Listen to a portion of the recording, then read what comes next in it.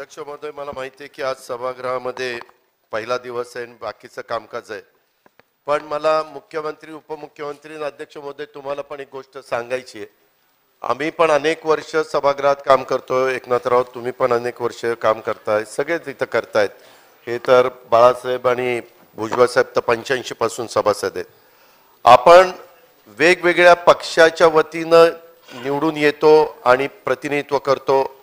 आज एकनाथराव शिंदे मुख्यमंत्री झालेत हे राज्याचे मुख्यमंत्री आहेत. पूर्ण. आपण उपमुख्यमंत्री पूर्ण राज्याचे आहेत. मंत्री पण राधाकृष्ण जे असतील रवींद्र चव्हाण असतील पूर्ण राज्याचे मं- मंत्री आहेत. असं असताना आपल्या सभागृहामध्ये अध्यक्ष महोदय कधी आपण ज्या पक्षाचं काम करतो त्या पक्षाचं चिन्ह लावून कुणी येत नाही. ही पद्धत आपल्याकडे आहे तुम्ही बघा देवेंद्रजी स्वतः पंतप्रधान देखील भाषण करताना तिथं बरोबर ते स्टेजवर पक्षाचं भाषण असतं त्यावेळेस असतं. आपण सगळे बघतो. नवीन पायंडे पाडू नयेत अशी माझी सभागृहाला आणि आपल्याला पण नम्रतेची विनंती आहे. नाहीतर उद्यापासून सगळं स- तसं सुरू केलं तर बेशिस्तपणा तो दिसेल. ही आपली परंपरा नाही आहे ह्याची कृपया नोंद घ्यावी. तसंच अध्यक्ष महोदय तसंच अध्यक्ष महोदय इथं स्वतः मुख्यमंत्री उपमुख्यमंत्री आहेत. काही दिवसापूर्वी देशाचे गृहमंत्री अमित शहा साहेबांनी एक महत्वाची मीटिंग बोलवलेली होती. सीमा प्रश्नाच्या संदर्भात काही जे प्रश्न निर्माण झालेले आहेत किंवा वाद निर्माण झालेले आहेत किंवा काही काही गावं त्याच्याबद्दल ठराव करतायत किंवा काही बातम्या देत आहेत असं काही काही सांगतायत. खरं असं व्हायला नको कारण सुप्रीम कोर्टात मॅटर आहे. सुप्रीम कोर्टात ते लढतायत आपण लढतोय. त्याचा निकाल आपल्या बाजूने लागावा असं तमाम महाराष्ट्रातल्या जनतेला वाटतं. परंतु अध्यक्ष महोदय तिथं जे काही ठरलेलं आहे ते हे समोर बसणारे दोन मान्यवरांना माहिती आहे. एक तर मुख्यमंत्री आणि दुसरे उपमुख्यमंत्री. पेपरला बातम्या आल्यात मीडियामध्ये बातम्या आल्यात. तिथं असं ठरलेलं होतं की सहा डिसेंबरला सन्माननीय चंद्रकांतदादा पाटील आणि शंभूराज देसाई हे दोघं जण जाणार होते राज्याच्या वतीनं पण महापरिनिर्वाण दिन आला म्हणून त्यांनी सांगितलं की वातावरण खराब व्हायला नको त्या याकरता आम्ही जात नाही. ठीक आहे तो त्यांचा अधिकार आहे. परंतु त्याच्या नंतरच्या काळामध्ये असं ठरलेलं होतं की कुणीच कुणालाही इकडून तिकडं जायला तिकडून इकडे यायला बंदी करायची नाही. एक आपल्या लोकसभेचे मेंबर यांना तिथं येण्याच्या करता तिथल्या जिल्हाधिकाऱ्यांनी बंदी केलेली आहे. अध्यक्ष महोदय महाराष्ट्र एकीकरण समिती सातत्याने तिथं भांडते मराठी भाषिक तिथं भांडतायत. अशा वेळेस आपण महाराष्ट्र त्यांच्या पाठीशी उभा आहे. वेळोवेळी सर्वांनी एकमताने दाखवण्याचा प्रयत्न केलेला आहे दोन्ही बाजूच्या. कारण दोघांची तशा प्रकार सर्वांचीच तशा प्रकारची अपेक्षा आहे. असं असताना स्वतः अमित शहा साहेबांच्या समोर ठरलेलं असताना आणि इथून पुढे आम्ही कुणाला अडवणार नाही असं सांगितलेलं असताना जिल्हाधिकारी अशा प्रकारची बंदी अध्यक्ष महोदय कशी आणू शकतो? हे बाब आज अठरा बावीस ते पंचवीस लाख लोकांचं एक एक खासदार प्रतिनिधित्व करतो. आपण चार ते पाच लाख आमदारांचं अध्यक्ष महोदय प्रतिनिधित्व करतोय. आणि त्याच्यामध्ये जायला पाहिजे त्यांनी काही असेल काम तर आपल्याकडे यावं. आणि जे कोर्टात व्हायचं ते निकाल तिथं लागेल ना. परंतु अशा प्रकारची दडपशाही ही अध्यक्ष महोदय आपण खपून घेता कामा नये. कर्नाटकच्या कुरापती ह्या सातत्याने सुरू आहेत. त्याबद्दल पण मुख्यमंत्र्यांनी उपमुख्यमंत्र्यांनी ठोस भूमिका त्या ठिकाणी घेतली पाहिजे. बोमईंनी जर तिथं कबूल केलेलं असताना बोमईचं कलेक्टर ऐकत नाही सन्मान्य विरोधी पक्ष नेते आपण मांडलेला मुद्दा सगळ्या समाजाला समजलेला आहे. तर मला वाटतं आता आपण पुढच्या कामकाजाकडे जाऊया. मला आपण पुढच्या कामकाजाकडे जाऊया. की यामध्ये सन्मान्य सन्मान्य विरोधी पक्ष नेत्यांनी मांडलेला मुद्दा ह्याची नोंद घेतली गेलेली आहे. आपण पुढच्या मुद्द्याकडे पुढच्या कामकाजाकडे जाऊया. महोदय महाराष्ट्राच्या दृष्टीनं महत्त्वाचा मुद्दा आहे. पुढच्या मुद्द्याकडे त्याच्या जाऊ पुढच्या. कामकाजाकडे जाऊया. आपल्या कामकाजाकडे नेत्यांना जाऊया. बेळगावच्या हद्दीमध्ये जाऊ नये. म्हणून बंदोबस्त लावलाय. नाही नाही हे बघा एक मिनिट. येऊन देत नाही. बसा जरा बसा खाली बसा. बसा जरा बसा. अहो खाली तर बसा ऐकून तर घ्या. ऐकून तर घ्या. ऐकून तर घ्या. दोन मिनिटं खाली बसा. सन्मान्य विरोधी पक्ष नेते इकडे सभागृहाला काहीतरी माहिती देणार होते म्हणून ते आपल्या आसनाकडनं उभं राहून त्यांनी जे भाष्य करायचं ते केलेलं आहे. त्याची नोंद सभागृहाने घेतलेली आहे. हे सभागृह हे सभागृह नियमानुसार चालणार हे सभागृह नियमानुसार चालणार त्यामुळे आता पुढच्या कामकाजाकडे आपण जाणं आवश्यक आहे.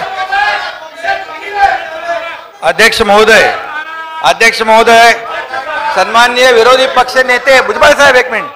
विरोधी पक्ष नेते यांनी जो मुद्दा या ठिकाणी मांडला आहे या आपल्या महाराष्ट्राच्या आणि मराठी माणसाच्या दृष्टीने अतिशय महत्त्वाचा आहे. यामध्ये वाद नाही आहे आपण म्हणालात की केंद्रीय गृहमंत्र्यांच्या समोर काय झालं? आम्ही दोघंही होतो. यामध्ये पहिल्यांदा देशाच्या गृहमंत्र्यांनी याच्यामध्ये हस्तक्षेप केला मध्यस्थी केली आणि बैठक बोलवली. मला वाटतं गेल्या अनेक वर्षामध्ये हे पहिल्यांदा घडलेलं आहे. त्यांनी ही बाजू जी आहे बाब गांभीर्याने घेतली. आम्ही त्यांना विनंती केली या महाराष्ट्राच्या अस्मितेचा विषय आहे आणि त्यामुळे त्यांनी बैठक घेतली. त्यामध्ये आम्ही महाराष्ट्राच्या बाजूने आपल्या सीमावासियांच्या बाजूने ठोस भूमिका घेतली दादा. की आम्ही सांगितलं आमच्या इकडच्या गाड्या आमच्या इकडचे लोक जातात त्यांना त्या ठिकाणी अडवलं जातं त्यांच्या गाड्या फोडल्या जातात. हे प्रकार कायदा सुव्यवस्था आणि याला धरून नाहीत लोकशाहीला धरून नाहीत. त्यामुळे असं कुठेही होता कामा नये. मग ॲक्शनला रिॲक्शन होऊ शकते हे देखील आम्ही त्या ठिकाणी स्पष्टपणे मांडलं. गृहमंत्री महोदयांनी त्यांना देखील त्या बाबतीमध्ये योग्य त्या सूचना समज दिली की कुठल्याही परिस्थितीमध्ये अशा प्रकारचं कृत्य अशा प्रकारची घटना होता कामा नये. आणि त्याचबरोबर हे ब- प्रकरण सुप्रीम कोर्टामध्ये आहे. याची याची याचं भान सगळ्यांनी ठेवलं पाहिजे याची नोंद सगळ्यांनी घेतली पाहिजे. आणि यामध्ये त्यांनी स्वतः बाहेर येऊन मीडिया समोर आम्ही दोघं ते दोघं होते कर्नाटकचे मुख्यमंत्री गृहमंत्री होते. मीडिया समोर त्यांनी केंद्र सरकारची भूमिका आणि यापूर्वी देखील केंद्र सरकारची भूमिका जी होती. आणि मीडियासमोर त्यांनी येऊन सांगितलं की कुठल्याही परिस्थितीमध्ये म्हणजे एवढं जी भूमिका त्यांनी स्पष्टपणे घेतली याचं खऱ्या अर्थाने तुम्ही अभिनंदन करायला पाहिजे होतं. एक मिनिट एक मिनिट. आणि त्याचबरोबर दादा यापूर्वी यापूर्वी की कुठली कुठली सरकार केंद्रात होती महाराष्ट्रात होती कर्नाटकमध्ये होती हे तुम्हाला माहीत आहे. आणि अशा प्रकारचं जे एकीकरण समितीने आज जे काही तिथे त्यांचं आंदोलन आहे यापूर्वी देखील कुठल्या सरकारमध्ये हे आंदोलन झालंय याची नोंद घ्या याचंही माहिती घ्या. आणि कुठल्या सरकारने त्याला परवानगी दिली ह्याची माहिती घ्या. मी तर यापुढे जाऊन सांगतो आपण याच्यामध्ये राजकारण करता कामा नये. या सीमावासियांच्या मागे उभं राहिलं पाहिजे. राजकारण करायला खूप विषय आहेत ना. त्याच्यात राजकारण करू. मी यापूर्वीच्या सरकारने मुख्यमंत्री धर्मादाय निधीचे पैसे बंद केले होते.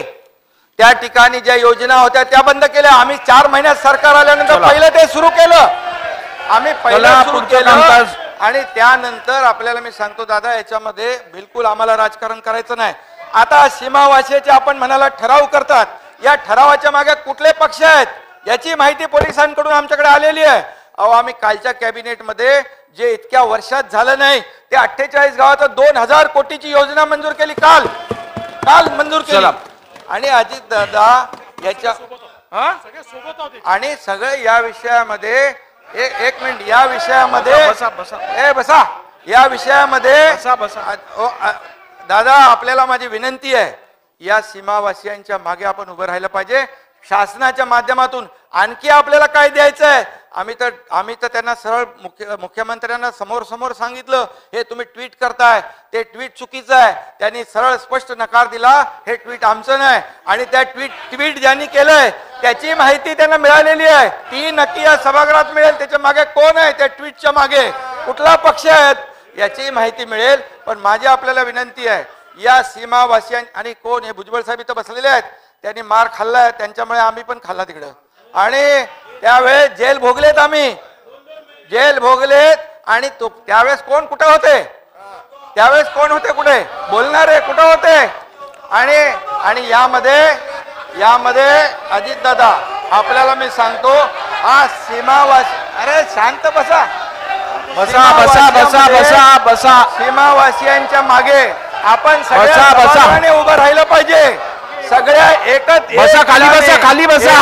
खाली बसा. सीमावासियांच्या मागे उभं राहिलं पाहिजे त्यांच्या लढ्याला आपण पाठिंबा दिला पाहिजे आणि त्याच्यामध्ये त्यांचं नुकसान होईल अशा प्रकारचं कुठलंही कृत्य आपल्याकडून होता कामा नये याची आपण काळजी घेतली पाहिजे शासन म्हणून सर्व पक्षीय सर्व एकत्रपणे आपण या मा- बाळासाहेबांची भूमिका त्या सीमावासियांच्या मागे उभं राहण्याची होती अडीच वर्षामध्ये मागच्या त्यांच्या योजना बंद केल्या तुम्ही योजना बंद केल्या आणि काय सांगताय सीमावासियांच्या मागे आणि म्हणून मी एकच सांगतो चला. या या सीमावासियांच्या मागे आपण खाली बसा, खाली बसा. विषय प्रलंबित. आहे त्यालाही कुठे गालबोट लागता कामा नये.